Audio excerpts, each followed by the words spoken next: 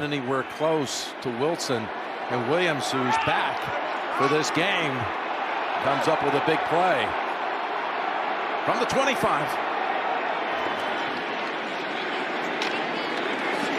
Deebo follows his blockers and takes off inside the 10. What a run!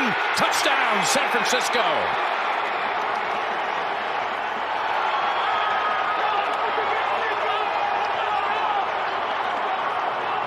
Dallas, this is the moment right here. You are now in that position where it feels like your season is about to end unless things go perfectly, and you all of a sudden are going to find the motion goes here, and you'll see Vander Esch goes with them. And when that happens, it creates a huge opening on that right side. And Samuel, the wide receiver, he's going to go ahead and find it at some point. Deebo, I tell you right there.